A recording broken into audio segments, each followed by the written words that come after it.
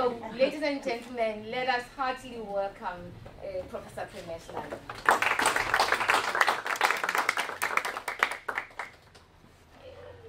Thank you very, very much, Pumla. And I want to thank uh, Professor Gobodo Madikizela for this wonderful invitation. Uh, it's the second time I'm speaking at Stellenbosch, and I'm very grateful to, to be hosted by, by this center. And she speaks of our center with, with great flair, but this is an illustrious center. Uh, so thank you very much for, for, for the invitation. I also want to thank uh, Landy Manning for just the amazing organization. I managed to find my way to Stellenbosch and into a parking bay.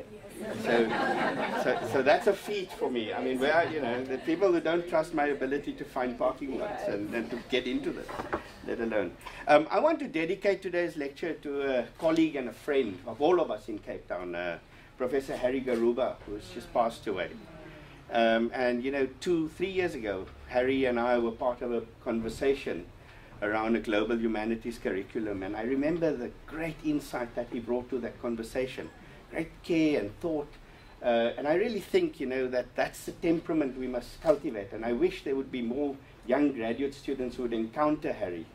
Um, but, you know, in the wake of Harry's passing, I want to say that, you know, we have a, an obligation to hold on to Harry's memory. And so I want to think of today's lecture as an opportunity to share a conversation with Harry Garuba. And I, as I was writing this, I was wondering what Harry might say uh, in his acerbic criticism with his wry smile and, and an offer of a glass of wine. Yeah.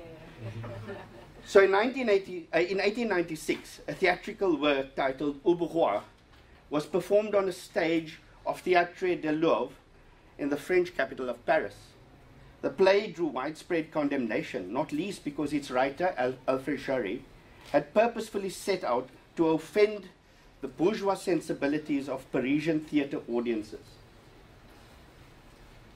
By all subsequent accounts, Jarry's wager to offend the dominant public sensibilities of his time proved successful. In fact, the play's success was so pronounced that it was shut down after its first performance. 100 years later, at the Market Theatre in Johannesburg, Jarry's central character, the oafish, grotesque, and ridiculous figure of Ubu, was reincarnated in a theatrical production written by Jane Taylor and William Kentridge and performed by the Handspring Puppet Company. Ubu and the Truth Commission was an effort to trouble an otherwise complacent audience about the fate of reconciliation at the end of apartheid, mocking how those who were once complicit in the violence of a racial formation had become mere spectators in its unraveling. In the drama of the times, Ubu and the Truth Commission called into question how the trauma of the past, painfully conveyed in the testimony of victims of human rights abuses, was worryingly served up as dinner-time televisual soap opera. By turning to Jarry as a source of inspiration, Taylor and Kentridge were effectively contesting the hegemony of the televisual by suggesting that freedom would be better served by a theatrical politics. Ubu and the Truth Commission recall the century old tradition of theatre that is widely acknowledged for having kept alive the dream of freedom under conditions of the 20th century's catastrophic world wars, predominantly through providing a resource for popular politics, artistic practice, and critical theory. The two productions on either side of the long 20th century are exemplary, exemplary of a form of theatre that Martin Esslin labeled the theatre of the absurd. Absurdism is about facing the world in which nothing seems to make sense, and about embracing the fact that our lives can be both terrifying and ridiculous. It is a form of theatre that leaves us with the troubling uncertainty of not knowing whether to laugh or cry. In keeping with the genre of the theatre of the absurd, both plays aim to shock the audience out of their comfort zones while making the theatre the site for testing ideas of equality and democracy. We might call this an effort at creating a theatrical politics that went against the idea of democracy as the rule of experts proposed and espoused by Plato. Theatrical politics aims to remake freedom by activating the popular spirit of the demos and its nascent public spheres. Beyond the obvious repetition of the figure of Ubu, successive generations of playwrights, including Wole Soyinka and Jane Taylor, turned to absurdism to lay claim to the idea of freedom by way of a theatrical technique that sets its sights on ridiculing the excesses of power. Perhaps it is this promise of recasting freedom and unleashing the demos that resulted in an exuberant global reception of Ubu and the Truth Commission as it continues to form uh, a part of the theatrical politics initiated by Alfred Jarry in 1896. In fact, the performance both inaugurated the onset of South African democracy and later to mark its 20th anniversary. However, seeing this production 20 years after it was first performed across the length and breadth of South Africa, where it was widely hailed, I was left with a nagging feeling about the efficacy of the play in conjuring an image of post apartheid freedom. Allow me to sketch the broad outlines of its narrative arc um, so that, that I might be able, so that I might lend uh, a, a, reading, lend this paper to a reading of the failures and shortcomings of the Truth Commission. Shortly after the first hearings into the human rights violation, into human rights violations, Ubu and the Truth Commission addressed the paradoxes that had formed around a commission established to record, report, and indemnify testimony of victims and perpetrators of gross human rights violations under apartheid in South Africa. Inadvertently, the play reframed the TRC by inviting us to look beyond the victim perpetrator distinctions towards anticipations of what I'm calling theatrical politics, in which post apartheid political subjectivity could be reconciled with post apartheid freedom. In short, then, Ubu and the Truth Commission deploys the technique of slapstick and comedy call attention to the limits of a concept of reconciliation as a foundation of the national narrative in South Africa. By staging a collision between the competing demands of conflicted lovers whose pasts recall the racial divides of apartheid, the play sets out new parameters for thinking beyond reconciliation into what freedom might mean under post apartheid conditions. Formed around a narrative that glances at the past, enacted through excerpts from TRC testimony that are mediated through the emotional prosthesis of the puppet, on the one hand, and on the other, a story of interracial love between a former security branch agent, performed by David Minnaar as Pa Ubu, and Busi Zokufa as Ma Ubu. The play is itself split between a story of the testimony delivered to the TRC and an interracial love affair, where the very desire for reconciliation is brought to a crisis. On this read, the production parodies a text, Antjie Krog's Country of My Skull, about a romantic interracial romance set against the backdrop of the unfolding testimony of the TRC. Only this time, in the theatrical performance, the love affair that undergirds the fantasy of reconciliation is threaded through the medium of slapstick, comedy, and theater of the absurd in recalling a diminished role assigned to the creative disciplines in the project of reconciliation, and by extension freedom, the play must perhaps be viewed as a cautionary tale about what the TRC cannot see about the limits of its own ambitious undertaking.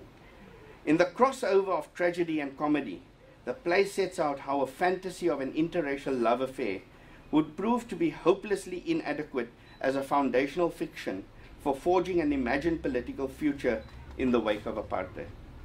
But there is a second level at which the play's referentiality operates. By drawing on a theatrical tradition that Alfred Jarry introduced in 1896, Ubu and the Truth Commission helps us reach deep into the discourses of the TRC, only to reveal how its own desire for reconciliation lies not in the legal precedent established by the rules of amnesty that calls the Commission into being, nor even the humanist precursors by which uh, apartheid was opposed, but somewhere else.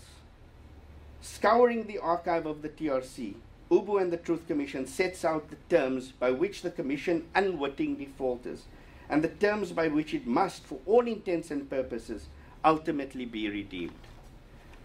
Ubu and the Truth Commission reckons with the South African political transition by tracking the spiral of uncertainty surrounding the unforeseen contradictions in the translations of truth and reconciliation. The two iterations of Ubu are linked through a symbolic spiral emblazoned uh, on the torsos of the grotesque figure after whom the play is named. And you'll see that both in Jarry and in uh, uh, Taylor and Kentridge's production, the spiral is, is a motif that carries through. Those of you who have seen the exhibition at Zeitz MOCAA will know how central the spiral is. Um, and, and of course, there's a, there's a symbolic reckoning with uh, the Dadaism movement that uh, Kentridge has been so interested in and sometimes overlooked in the, in the commentary on William Kentridge. But in this production, this spiral is something that is worth taking hold of and, and, and, and considering uh, in relation to the questions that the, this production poses. The plot then intrudes on the, on the private lives of Ma Ubu and Pa Ubu, who in their interracial union reveal the collisions spawned by the entanglements of love in an apparatus of torture, murder, and unreflective political allegiance. The instrumentalities of state power are given over to Miles the crocodile. I've got a little image of Miles the crocodile there somewhere. There we go. Given over to um, the instrumentalities of the puppet Miles the crocodile and the dogs of war who become accomplices to a hideous spectacle of a lover's quarrel. Ma'ubu's suspicion of sexual indiscretion on the part of Pa'ubu soon turns out to be an elaborate plot of suppressing state secrets. The medium of the animated puppet is thus used as a prosthesis to discard, retrieve, reveal, and hide official secrets of state violence in a game of morality pitted against the shattered fantasy of unfettered love. As a testimony to the biopolitics of apartheid's modernity, the play stages a conflict of forms. It is a conflict between the tragedy derived from the testimony delivered to the TRC and the comedy of slapstick. We might say that it is a tension between the kinesis of the puppet and cinematic memory. Confession and testimony are thus each distinguished by discord over the scattered remains of love and revolution after apartheid. To mark this specific feature of interplay and discord, consider a sequence from the play that sheds light on the field of collision, which the TRC was established to circumvent in the making of a national narrative. And so I just want to show a brief clip from the play so that you have a feel for that's the, the two characters, Ma Ubu and Pa Ubu. Um, and I think what I need to do here is that. I was told it's going to work not working. Nandi is here. Nandi, help. Okay, there we go.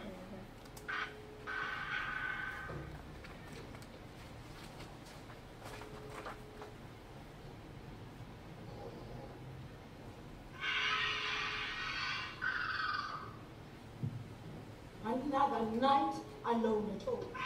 I Is this a marriage? Every night out with his no one to dinner and no invitations. This is not normal.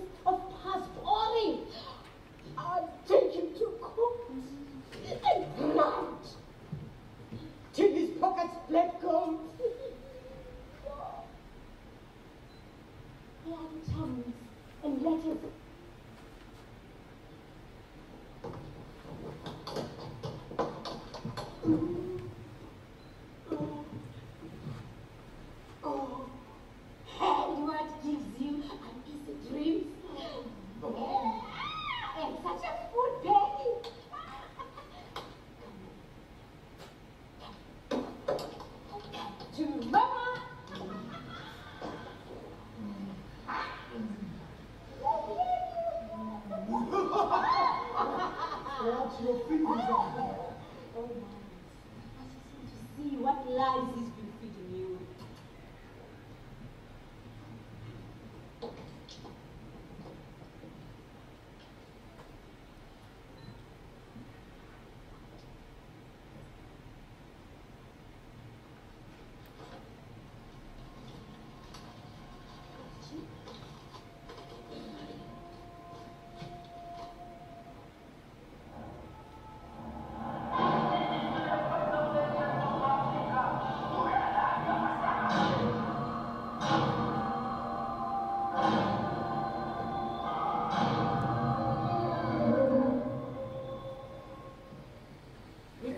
Pause it there.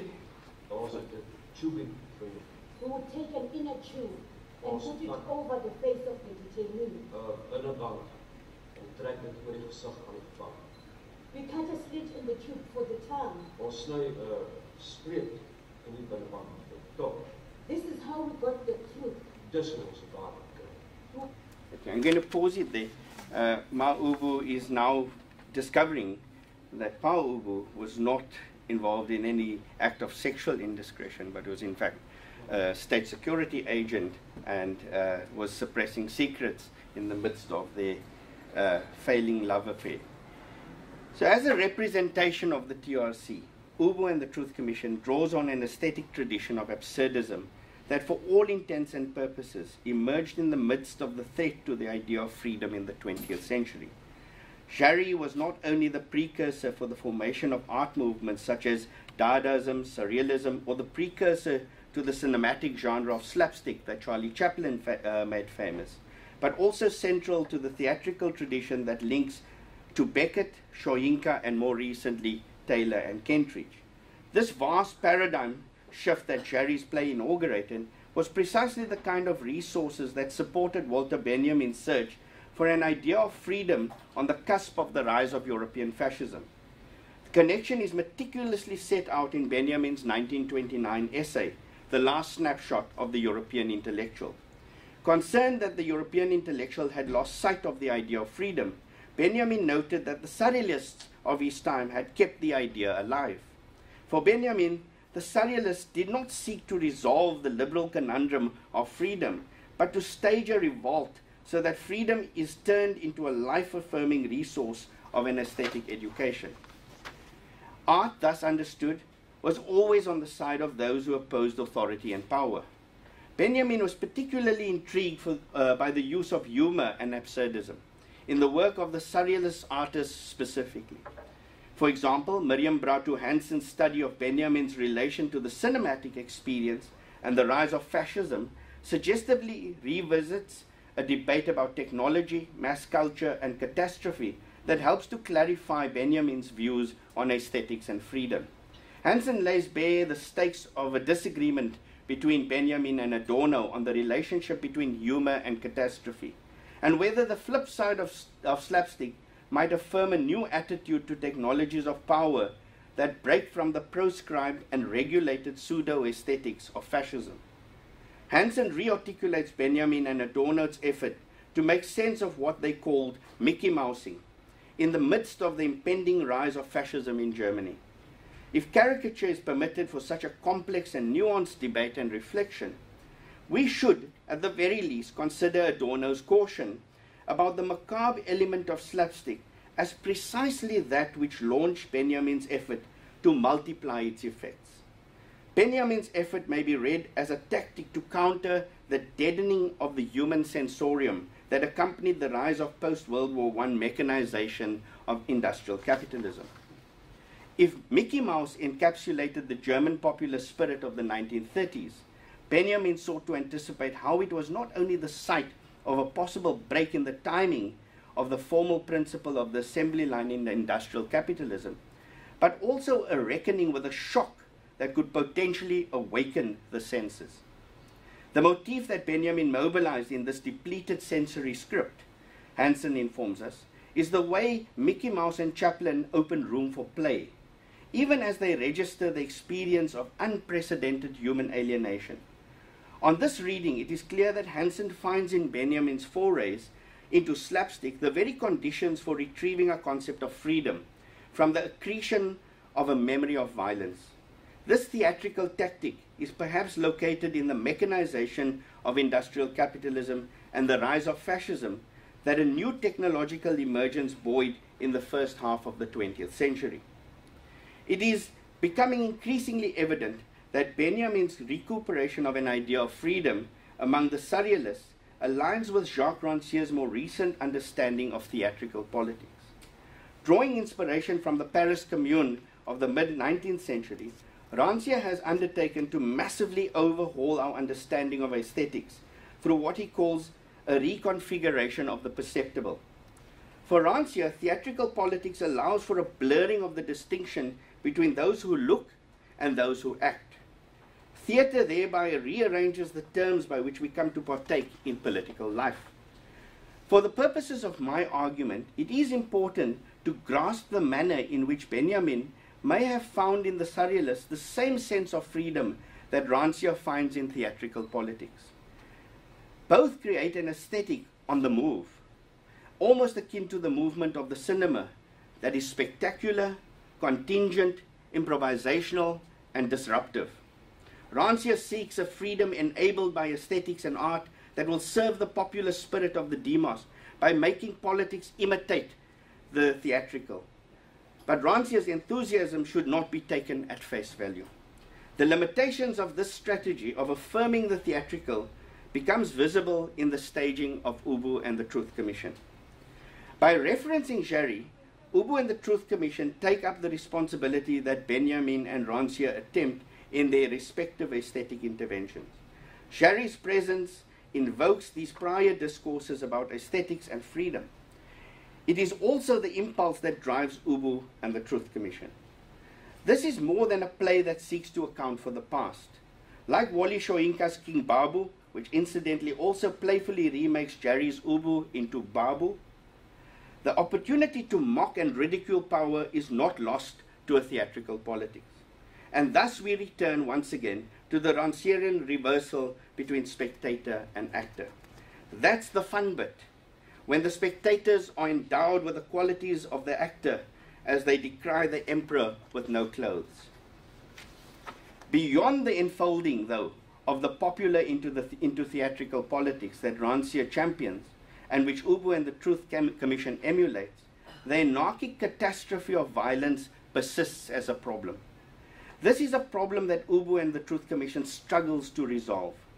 The problem that the play confronts is that the TRC is already set up as a theatre. This is a view that both Catherine Cole and Rustom Bharucha have articulated in their respective studies on the performative quality of the South African Truth and Reconciliation Commission. Rather than offer us a view on freedom, the script of Ubu and the Truth Commission is regrettably entrapped in the theatricality and irresolution of the TRC.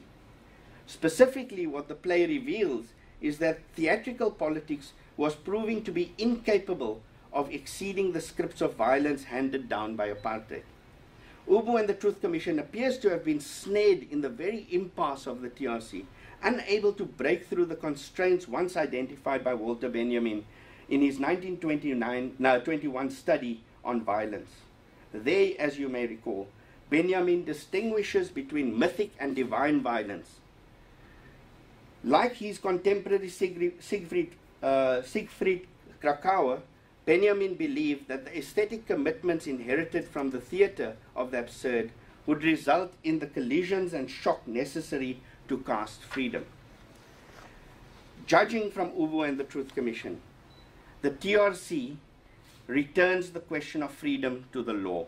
And this is Benjamin's point in the essay that law preserving violence ultimately defines the rise of fascism in Germany. Read along the grain of this argument, uh, sorry, so the TRC returns the question of freedom to the law, allowing little room for theatrical politics to redefine the demos. In other words, this potential that both Benjamin and Rancière were pursuing in theatrical politics, that it might help us to get beyond the limits and constraints posed by violence, that this was showing up as a, as a huge limitation. Read along the grain of this argument, we might say that despite its effort, Ubu and the Truth Commission is unable to measure up to the expectations of the theatrical politics that Rancière advocates thereby showing that Rancière's expectations were inadequate for thinking the problem of violence. From the vantage point of a post-TRC condition, the aesthetic has largely come to mime the juridical paradigm of the TRC. This is observable in the painterly, cinematic, documentary, and musical repertoire of the post-apartheid aesthetic practice. The TRC weighs heavily on the work of art. If the TRC's reach extends this far into the realms of art and aesthetics, and if we are, to uh, if we are correct to assume that the TRC constrains an aesthetic contribution to the question of freedom, then we might mark the aesthetic as a particular crisis of the post-apartheid. In other words, what I'm suggesting is that the aesthetic now is the repertoire of the TRC, that what we see in every iteration of aesthetic practice is a remaking of the form and content of the TRC. And I just want to anecdotally say that trying to do a documentary on an Elvis impersonator in the town of Elvis has simply revealed that everybody thinks when they're on camera that they're at the TRC. Um, and so that's where that thought derives from. That, in fact, I suppose most those of us who have to face undergraduate students now see the lecture theatre as a TRC of some sort or the other. So, as much as UBU and the Truth Commission attempts to exceed this limit, and Jane Taylor is here, and so, she, so I'm a bit anxious about making this criticism because this is the first time she's hearing this.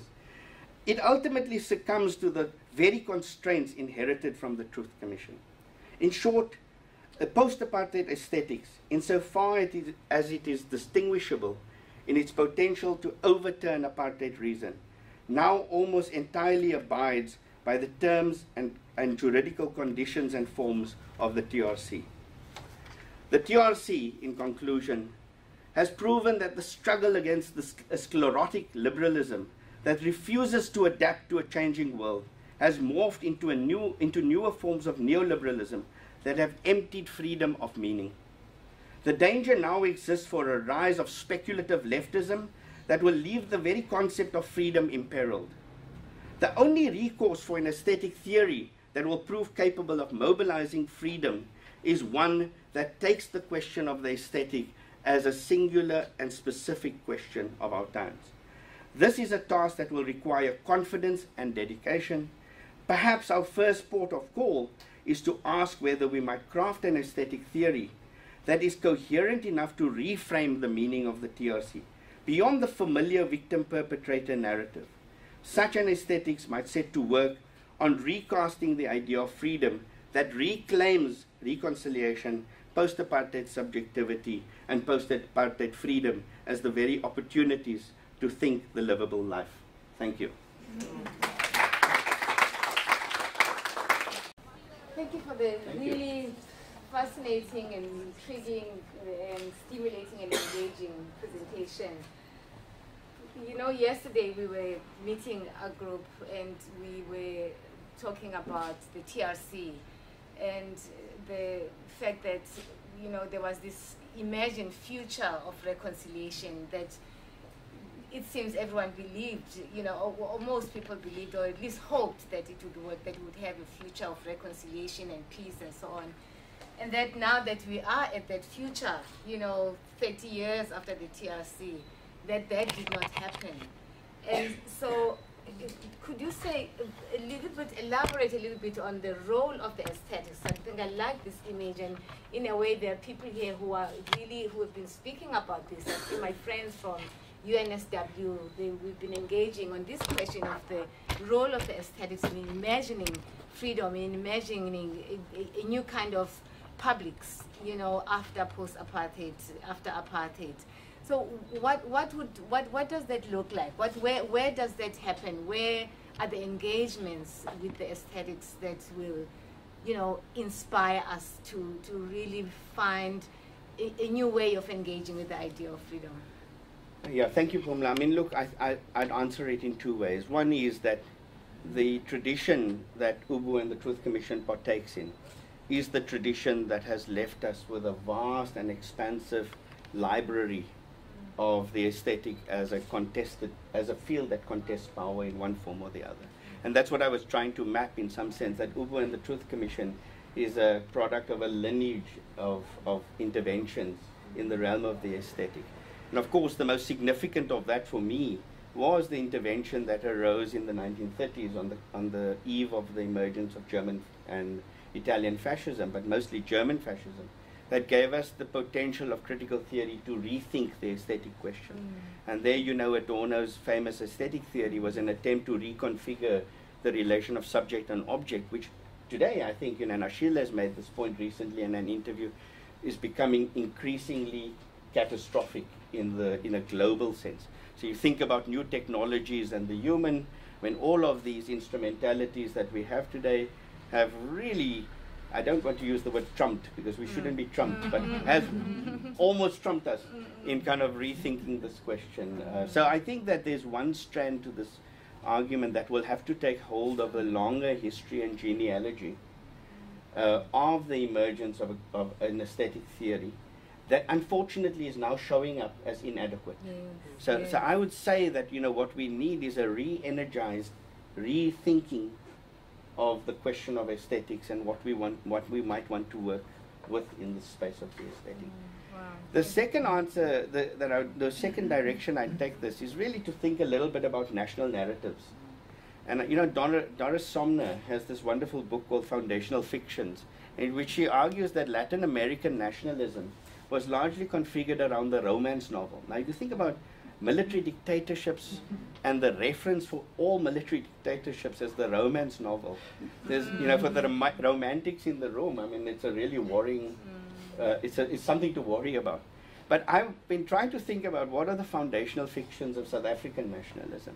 And quite clearly, what I think the TRC did was to put in place uh, what I call a very weak narrative of love. And I, I'm, you know, Antjie is a friend and a colleague, but I'm being, crit- I'm, you know, it's good to argue with Yes. friends. Um, Yes, it's, yes. it's also good to run from friends, Right. you know, once you've made the argument. Right. But, but Antjie, in a sense, you know, has in Country of My Skull, which was the text that mediated the international reception of the TRC, had put in place a fairly weak narrative, you know, that then became this film with Juliette Binoche and who was it? Uh, someone. uh, Yeah. It was a really ridiculously made film, a ridiculous film. I mean, so what I And she actually also agrees. she agrees. She, I mean, uh, yes. no, she, she, that's one, we do agree on that. And I think that Ubu and the Truth Commission was, I mean, I'm not sure what Jane would say, but in my reading, would par- is parodying the weak narrative of love that founds the South African national narrative. So we didn't even get to romance, not the romance novel.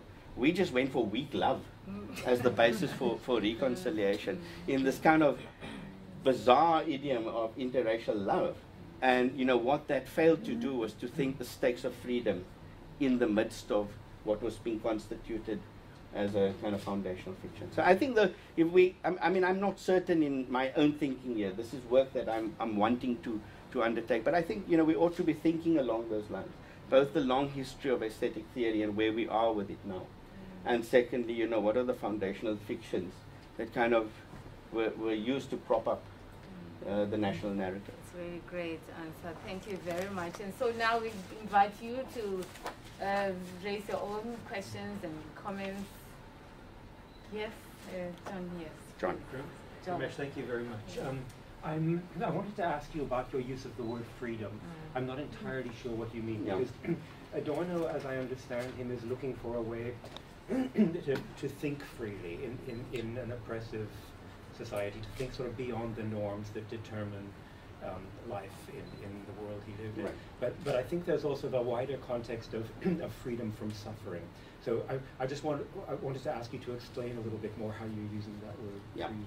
So I'm using it at the moment uh, with a little caution, partly because it's such a tangled uh, concept. I mean, it names political projects on this continent in ways that deliver precisely its opposite. So it's a completely bizarre repertoire that you have where people would argue, uh, you know, that they are part of a freedom movement, you know, or then later a liberation struggle, but that would, you know, work out that term in very antithetical ways. I would say that w- we're dealing with a fairly sclerotic notion of freedom, and that comes from a liberalism that has run aground. I mean, if we look at the U.S. just yesterday, and you look at the catastrophe that awaits us in the world without even being part of that conversation, that's an example of a sclerotic liberalism that is taking hold in the world. Um, I know I needed to make that comment because Mark has a camera here, so Yes. I, I needed to use the opportunity to, to make that point. The, the, so I'm saying that you know the aesthetic must have a different stake in the question of freedom, and that's why I think you know what I'm interested in in the work that Handspring Puppet Company, for example, offers us, or that Jane and William have given us in the idea of the processual, is to reinvent the terms by which we approach the question of aesthetics as the very grounds for rethinking and remaking freedom. So this idea that we're going to inherit a concept here that will be available to us is now a sign that you know we are in a very depleted state. You know, and in fact, what has happened is that what I'm calling left uh, speculative leftism is that we've, in some sense, surrendered and conceded the ground of freedom. Now, this country has a very interesting relation to that term because when it gets mobilized in the 1940s, in the academic freedom debates at UCT and WITS, it becomes the foundation of what is cited in America in the Frankfurter Judgment uh, in 1947 48. So, in other words, the first four pages of the academic freedom statement at UCT and WITS claiming that they were not apartheid universities.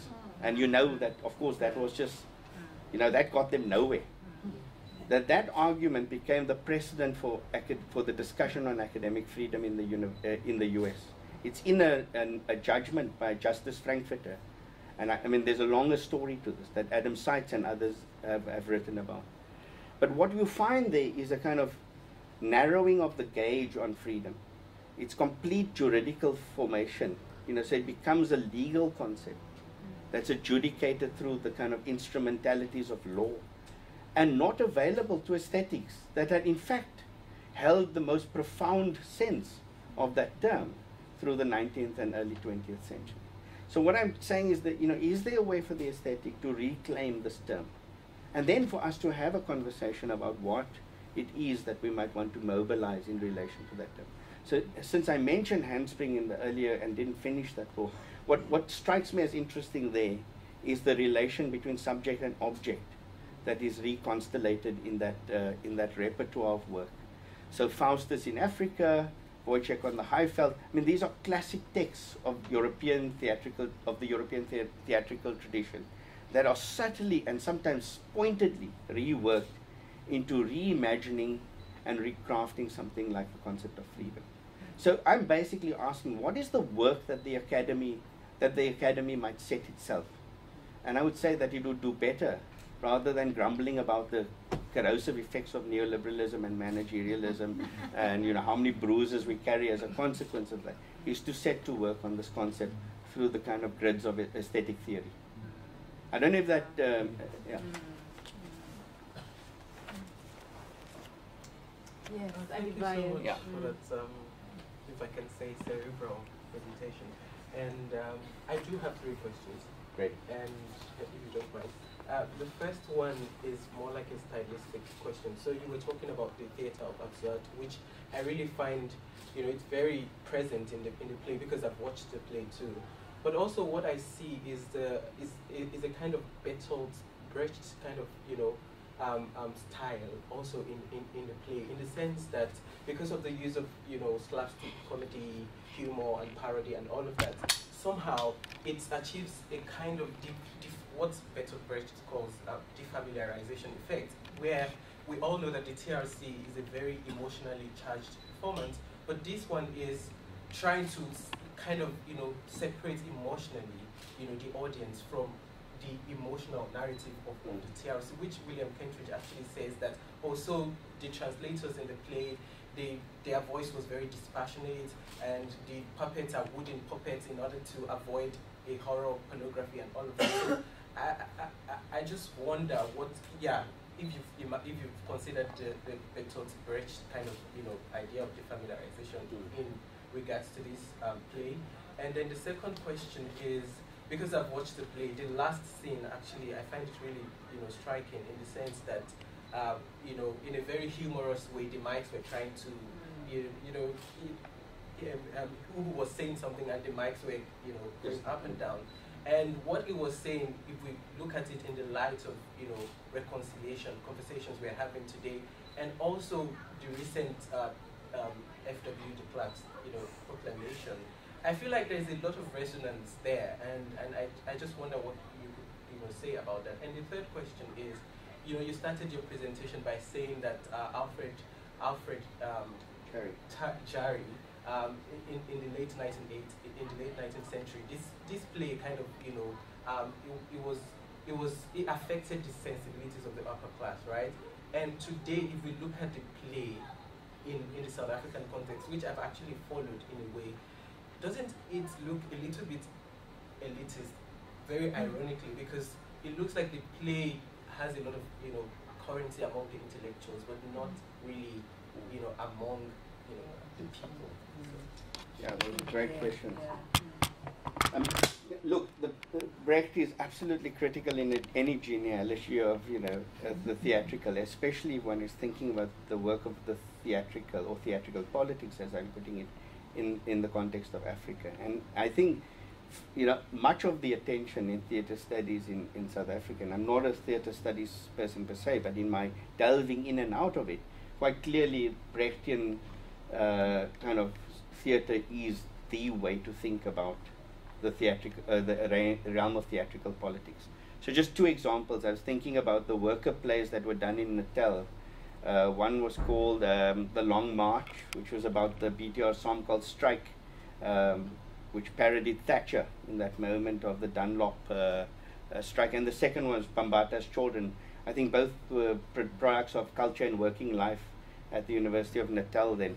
Those were very precisely Brechtian works. So you know, in thinking about what other kind of interventions theatrically were unfolding in the space, and why it is that the question of fascism is always something that is available to Kentridge to think the problem of apartheid as the aftermath of, of, of fascism. I was suggesting that perhaps there's a way in which those four plays that get made in the 1990s, uh, Ubu and Truth Commission is one of them, Faustus in Africa, Woyzeck on the Highveld, and I think the Confessions of Zeno, right, Jane? Yeah. Those four plays, in some sense, wrestle with the problem not of the kind of colonial project, but of fascism and its aftermath. Mm. And in a sense, that's, you know, I would certainly in the longer study return to Brecht in some form or the other. But for now, the Ubu and the Truth Commission and both Faustus and Faustus really engages Marx's uh, 1850s essay in the Grundrisse on the human and the machine. What's it called? Fragment on the machine. Um, so that's where you know he kind of goes to, and there's a little Goethe uh, a quote from Goethe in the Marx essay about the cellar rat that has become an interesting kind of point of discussion. So a long-winded way to say that I haven't dealt with Brecht here, in part because I'm wanting to come to it at some point. But it is, you know, defamiliarization is something I need to think about. And, and the scene you're pointing to where the mic is kind of reminded me a lot of Chaplin's Great Dictator, where Chaplin is speaking into this technological instrument and conveying a kind of humanist uh, plea for, for the senses to, to take hold of that moment. Um, except in this one, you know, the mic kind of it flips around and it, as soon as he lies, it kind of tilts, uh, tilts backwards and so on. It's a brilliant moment in that play. And so I will think about defamiliarization. The puppet for me is an emotional prosthesis. And Handspring thinks about the object of the puppet as an emotional prosthesis. So it is actually the object that is called into play as a site of transferring the kind of difficult questions of, you know, embodied pain and so on and so forth. And, you know, in the work that we do with Jane and others in a rural community, the question of the object has become a very important question for us to think. The, the second, so that's the microphone as well. And the, the, the what was the third question? Sorry, I had my notes. Um, irony of elitism, you know, Oh, so I, you know, really think that the transference is not between elite and subaltern there. And, you know, I have a deep interest in that transference. I'm not denying that there's a transference that is happening. I think the cinematic is an interesting way to think about what is unfolding um, in the space of, of, of, that production. And in William Kentridge's work, I mean, the cinematic is a powerful uh, idiom through which he thinks. What the cinema does, it produces a kind of kinesthetic education that one has to take hold of. Um, and, and I think that what we're seeing in this movement of this tradition that Jarry inaugurates is actually the birth of the cinematic. And what I would like to think about there, and maybe we can think together about it at some point, is what it does to the configuration of memory. And you know, here we in the kind of discussion of Bergson and others. So I would say, you know, we need a longer history of apartheid since you arrived at that point. And we need a different history of apartheid. And we need a, a history of apartheid that will allow us to think about the uncanny returns of race Hmm. Because, and, and here I would say that, you know, we have come to think this problem through standpoints of various kinds. And it's proving extremely unhelpful in many instances to think them entirely through the standpoint. So I'm not entirely disavowing standpoints. What I do think is that we ought to be able to think about it in relation to what Stuart Hall, one put, Hall once put forward as the idea of race as a free floating signifier that attaches. And to think about where and how it is attaching across the kind of spectrum of time. So I really think that the problem we're sitting with, and this is part of the argument of the book, is that we have a critique of apartheid that has been found wanting. So, um, if I understood correctly, your uh, concerns with Ubu, it's to do something with the fact that you say the play maybe gets carried away uh, with its own theatricality uh, and weaving its own fictions. Did I did I sort of hear that correctly? Uh, well, since Jane has now arrived, I'm going to say no. okay. okay. Well, just just bear with me anyway. no, no. I think you, I think there is some of that, but I, there's Right. another part to that. So, so um, I'm interested in that because if you look at uh, some of the musical responses, you know, thinking about Philip Miller's cantata, um, he starts from the premise that he really wants to stick to an aesthetic of realism. So he does not. The only kind of theatricality that really encroaches on his or encroaches on his uh, cantata is the TRC as theatre. Uh, but for the rest, for him, it's very important to almost restage hearings as they happened and not to allow fiction and theatricality to interfere with actual testimonies. I wondered whether you wanted to comment on uh, that alternative route of an aesthetic realism, which, which I find problematic in many ways. Yeah, again, a great question. I was going to say, you know, so my initial response about, you know, Jane being in the room is obviously wrong because, in a sense, I do want to think about the excessive theatricality. And, and you know, uh, you know, when I think about what, say, Dadaism offered us as part of the longer critique of apartheid, there have been elements of what we've drawn out of that tradition that have proved incredibly powerful, but also worrying at some point. So I'm thinking about, you know, conversations we've had with the work of the Gugulective, with Kemang Wa Lehulere and a whole range of other artists, you know, who were inspired at some point, you know, with thinking about what Dadaism had done uh, that would enable a different rendering of the problem of apartheid. Um, look, I, I, I, I'm not very. I know Philip's work, and I, you know, I know that you, one work we collaborated on was the African Choir production, um, and that involved, you know, two figures, uh, Charlotte Maxeke and um, Katie Makanya, and I had a graduate student, uh, Tozama April, was writing on uh, Charlotte Maxeke, is writing on Charlotte Maxeke, and so it was very important to think with her about what that choir reproduction looked like. I'm, I'm still not convinced, for example, in the African choir, that we've exceeded the scripts of the TRC. You know, in some sense, there's still the theatricality that. So that's the one work I draw on to respond to your question. Um, I'm not sure how to respond to the question on aesthetic realism. I'd have to give it a lot more thought. Um, but what I do want to say is that that's probably the weakest part of the argument that I put together is, and I did reference musicality as one place in which the TRC is being created as a repertoire. I'm drawing straight from uh, Steve Gordon's argument at a conference on black aesthetics in which he said, you know, South African music is getting stuck in repertoire and that that repertoire is, you know, signaled by the way in which the testimonial has functioned as a cornerstone of how we think our way into the present. So, so with a little bit of a rain check, and I, I'd love to see whether I can answer that more fully with some thought. I mean, I I I think a little bit uh, more about you know how to approach the question of music. Um, I haven't done anything with soundtrack, and as I know, in all of these productions, what you know, there've been great thinkers of sound that have been involved in all of these productions. Warrick Sony, um, Philip, uh, James Phillips, who passed away after the production of Ubu and the Truth Commission, two weeks after the production in Grahamstown, when I, or what is now Makhanda, when I first saw it. Um, you know, so, so I need to think this question much more seriously. I haven't thought soundtrack uh, uh, into this into this argument yet. This is her field. She did her PhD on Philip Miller's. Ah, so Yes. we have, you know, maybe you can you can guide me on how I might need to think about this. Um, quite clearly, I, uh, uh, you know, there's need for me to to find some jumping off points. It's a, conversation we must have, Yeah. right? Yeah. Absolutely. Yes, more questions, please. We have a few more minutes before we break for two more questions. Jane, you must say something. Okay, you must, you must really say something. We, we, we demand that Jane something. She's come with a bag of rotten But, but Andrea, please, Andy. Yes. Thank you so much. Thank I, you.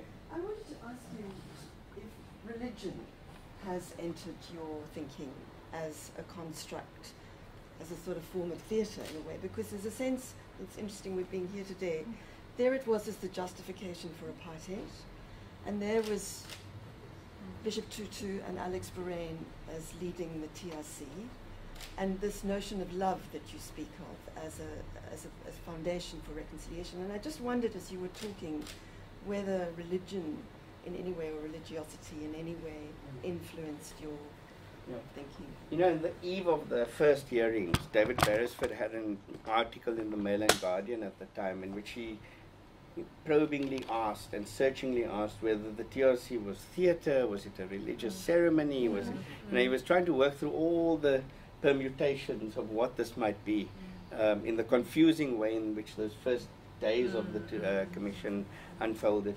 And, and I've thought long and hard about, you know, why it is, you know, the TRC through Catherine Cole and Rustom Bharucha in particular, uh, Performance and Terror, Rustom's uh, book, but also Adam Sitze's uh, wonderful book, which I was telling someone else about, called uh, The Impossible Machine, uh, on a genealogy of the South African Truth and Reconciliation Commission. It's a wonderful book which really thinks very hard at the kind of legal precedents for commissions of inquiry and you know the way in which the colonial script is re and you know is re curated in the space of the uh, TRC.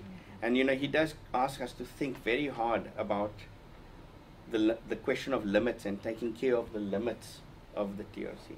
But more than religion, I was interested in questions of ritual through Rustom and through Rustom's work in particular. And, and here, you know, through a circuitous way, in a different moment in my life, as Adebayo will tell you, when I worked on a book called uh, On the Deaths of Hintsa book, which is about a, a, a healer diviner, Nicholas Gcaleka, who goes in search of a skull of the Xhosa king Hintsa and returns to South Africa in the, at the height of the TRC with the skull. And I was arguing there that something about 1834 and 1994 rhymed but, that, but did not produce any reason. And so I was trying to think those two things, and Brett Bailey's iMumbo Jumbo arrived. And you know the actor that played Nicholas Gcaleka and that performance just passed away, I think, yesterday. Uh, that that production, I saw it with Neo Muyanga, and Neo was worrying about the way in which ritual was being performed as theatre.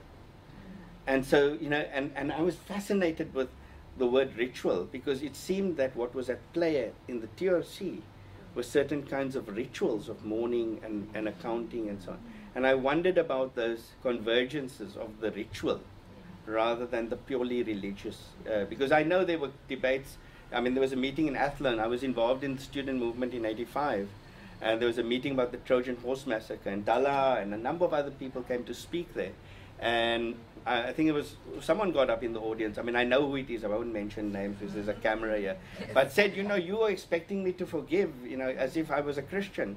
But what if I was Muslim and I had a different idea of forgiveness? So I know those debates have played out. I was more interested in what ritual was doing in the space of, of the TRC. So I, I, I would say that, you know, there's some work that we need to do in relation to what uh, Pumla was calling the archive of the TRC. That there, are layers and textures to this dynamic that has unfolded. That notwithstanding all the quibbles about whether it succeeded or failed, and you know that's the no, that's the way in which people approach this now, is that actually that might not be the best way to think about this. This might be precisely that archive that got constituted in 1834, and remember that was the eve of the abolition of slavery. But that archive was also on the eve of the Aboriginal Commission in Britain, which was going to find out how native populations were being treated around the world. Remember, it's the British Commission of Inquiry.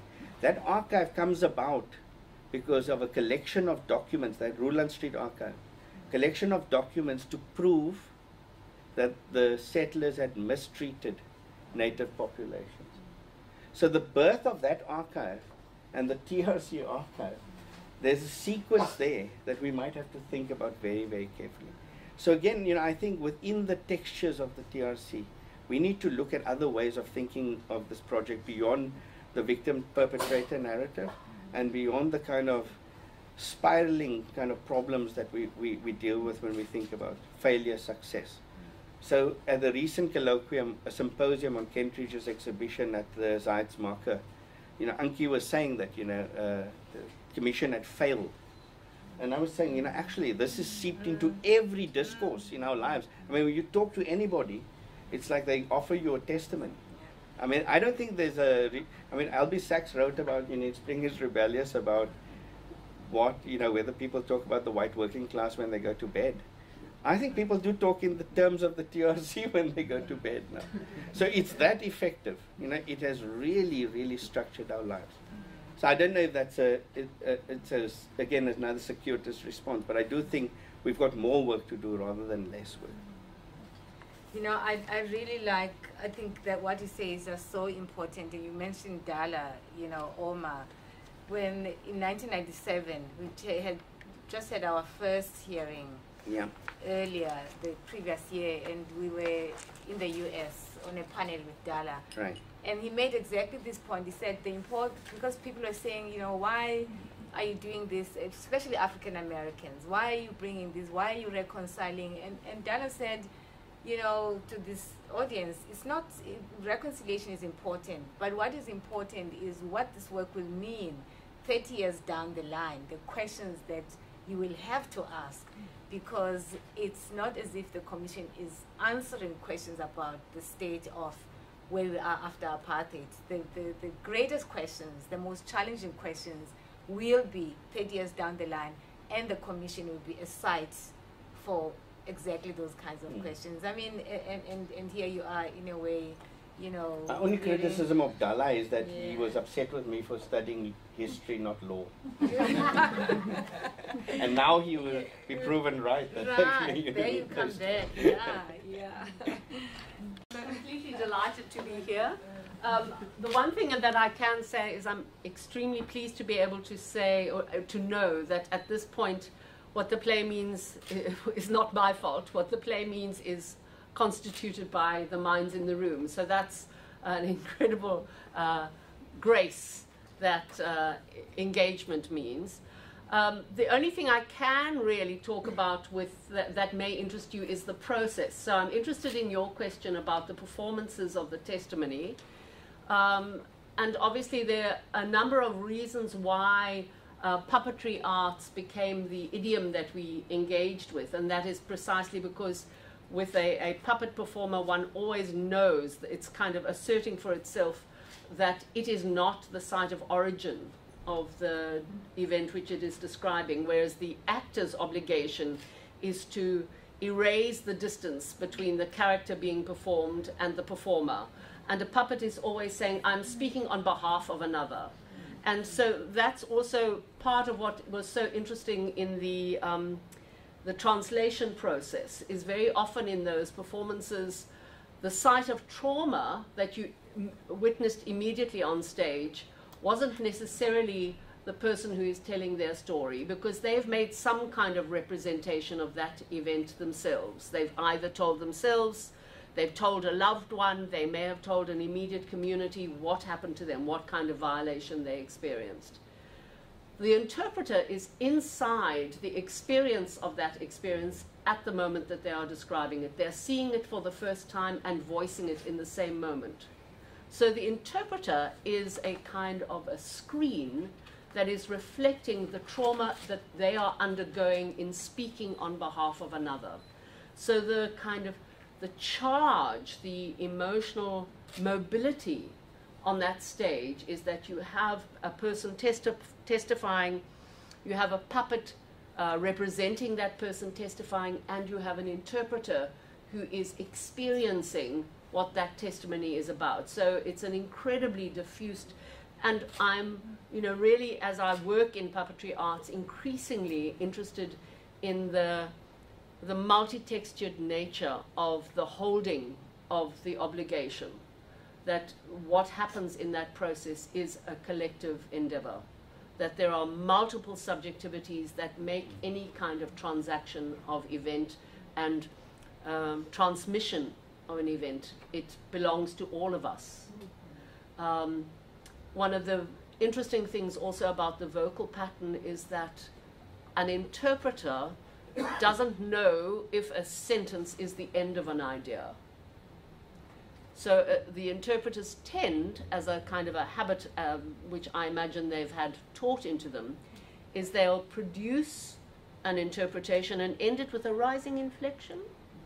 So there's always a suspended action because they don't know where the action has ended in the mind of the person who is thinking the event. So someone will say, he came into the room, and so there's the possibility of that going to an elsewhere. It's not a natural habit of thought, certainly not in South African accents. In some accents, they are more inflected to the upward um, ending. Um, but with you know um, South African languages, there tends to be a, a much stronger sense of a linguistic closure. So part of what we were interested in is that you would have someone speaking in a pattern like that, over which you have someone speaking in a pattern like that because they're listening at the same time as they're speaking. So a lot of this is, you know, fairly technical work because one is interested in whatever is happening in that space. Collectively, or we are going to be responsible uh, for the transmission of meaning. Thank you so much. There's one last question, comment and, and question.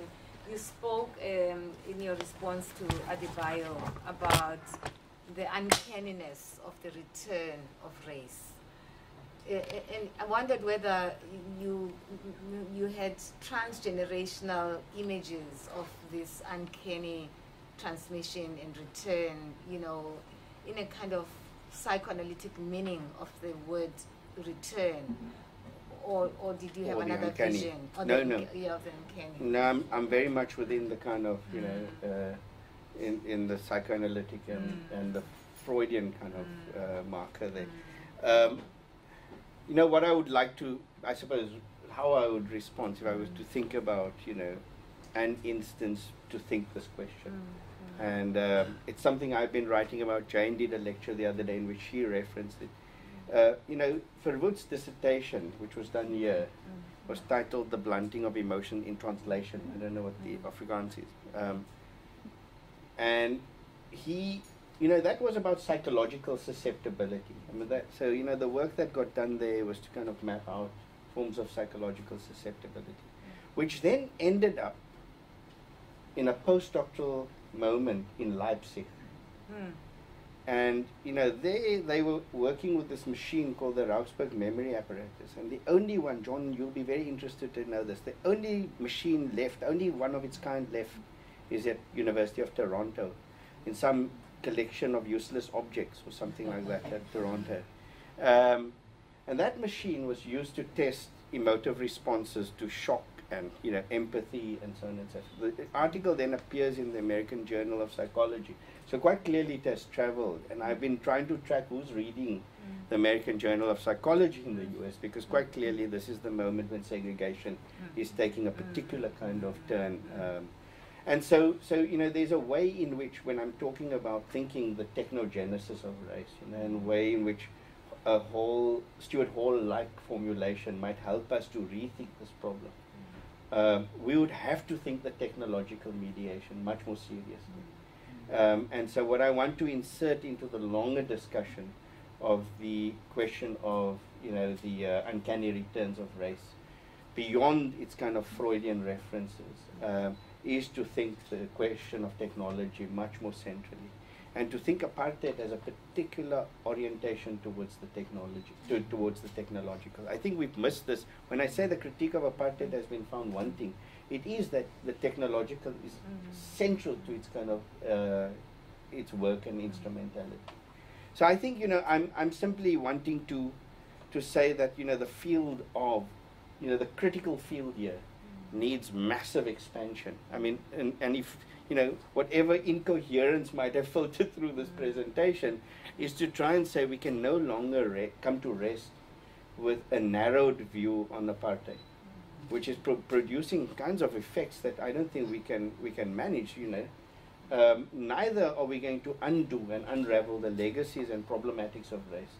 And having worked and grown up with someone like Dullah, I knew that, you know, very early on, that what our project here was, was not simply to constitute, you know, the new as a kind of form of state power, but to unravel the legacies of race in a fundamental and purposeful way. You know, Premesh, you have been as clear as a bell. I didn't know.